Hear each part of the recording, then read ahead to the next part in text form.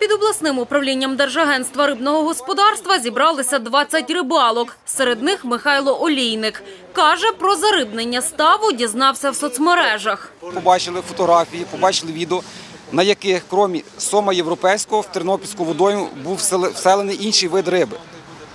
Разом з цим сомом європейським. По фотографіях, по відео ми чітко бачимо, що структура будови сома європейського відрізняється від іншого виду сома, який був запущений разом з ним. Ця риба є шкідником, вона розмножується в колосальних масштабах дуже швидко. Вона з'їдає ікру інших видів риб, які відкладають її під час періоду нересту. До управління прийшов також Андрій Потурняк. Чоловік розповідає, рибалить більше 30 років. Каже, якщо в Тернопільський став запустили американського сома, то вивезти його буде неможливо. Боротися з ними ну, абсолютно неможливо. Чому? Хижак їх не, не, не, їсть, не, не відловлює. Щоб повністю забрати його немає варіантів. Є, є ще поради науковців, це більша кількість повинна бути європейського сома. У них е, приблизно однакова харчова база. І тоді європейський сом за рахунок своєї, своєї того- того, що він виростає більше, більше виростає, так, він може потиснути його по харчовій ланці.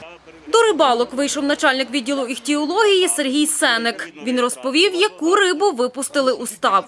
Сом європейський. Називається. Зариблю його відповідно до науково-біологічного обґрунтування, яке виготовлено Львівською дослідною станцією Інституту рибного господарства Національної академії наук України. Відповідно, є на нього всі документи. Тобто накладна, де прописано, що сом європейський, і експертний висновок, тобто там прописано, що сом європейський. Так що відповідно до НБО проводилось зариблення. Дивіться, от на фотографії ми чітко видимо. Скажіть, це європейський сом. Це європейський сом.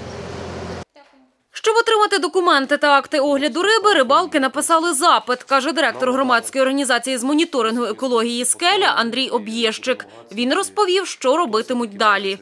Сідаємо, розбираємося відповідності по інструкції поселені і нам будемо намагатися знайти, хто все-таки має за це відповідати.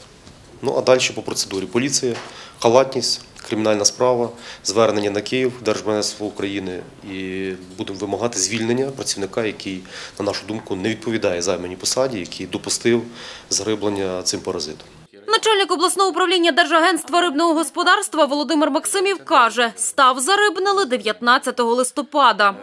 До нас поступила заявка від управління парків культури і відпочинку Тернопільської міської ради про проведення зариблення європейським сомом. Ми розглянули дану заявку, вони надали нам відповідні документи, ми провели це зариблення. В загальному зарибились 110 кг європейського сома.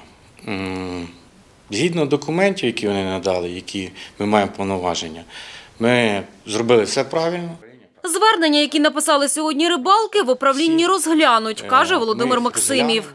Якщо виявиться, підтвердиться факт, що там ну, не цей вид риби зариблювалися, ну, відповідальні особи за зариблення будуть покарані. Заступник директора Тернопільського підприємства об'єднання парків культури і відпочинку Микола Ткач розповів, перед тим як запустити рибу в став, перевірили усі документи.